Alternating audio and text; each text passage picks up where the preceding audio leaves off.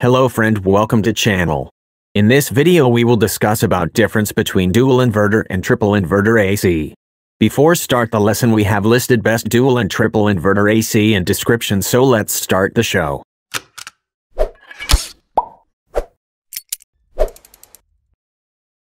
AC is with triple inverter. This was introduced by Samsung. Although the name of the previous technology dual inverter came from the use of twin rotary system, but unlike that, the triple inverter technology does not use the three rotary systems, but uses 8-pole triple inverter technology. As the name suggests, it uses 8 poles contrary to the conventional 4-pole usage, just the way the noise levels and vibrations were reduced by the use of an extra rotary motor and twin rotary inverter system. In the triple rotary system the use of extra 4 poles reduces the vibrations as it does not produce too many torque fluctuations. This makes the system a lot more efficient. It cools up to 67% faster than an average AC, even in the hottest of hot weathers like 68 degrees Celsius.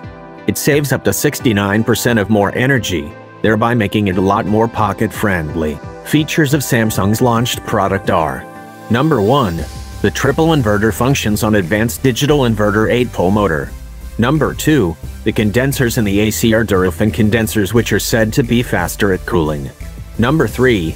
The AC comes with a convertible mode, which basically senses the crowd or the number of people in the room and cools accordingly.